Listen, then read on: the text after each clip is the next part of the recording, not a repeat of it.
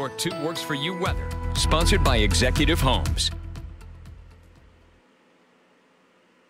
Well, times like this, it's really not easy to practice social distancing, but the weather today definitely made it a little easier than usual. It was cloudy, it was cold, definitely just made you want to stay inside all day. And right now we're seeing those temperatures only in the lower 40s, going to actually be our coolest April 4th on record. Let's go ahead and take a look outside at our Dave's Claremore RV weather camera network. Mostly cloudy conditions with those winds out of the north northeast, keeping things nice and cool for us at 7 miles per hour.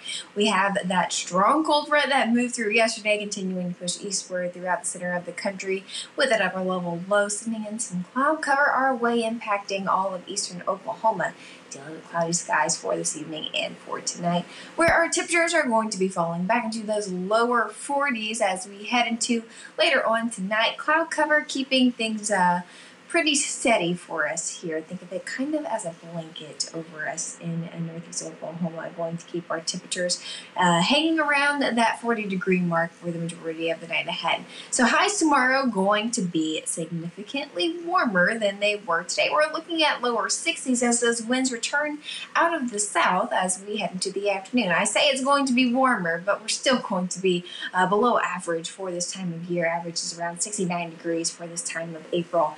Now we have a big warm up on the way, looking at 70s, then 80s by the middle of this week. I'm looking forward to it.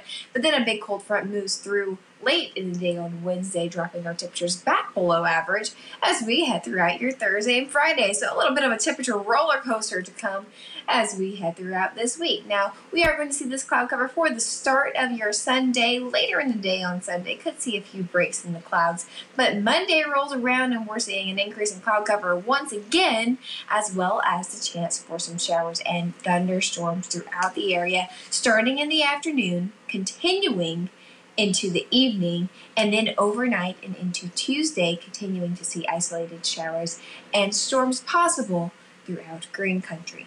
Now let's go ahead and take a look at our 10 day forecast here. I said warming back up into the 80s by midweek before another cold front brings a chance for cooler temperatures and showers by the end of this week. Next weekend, looking all right.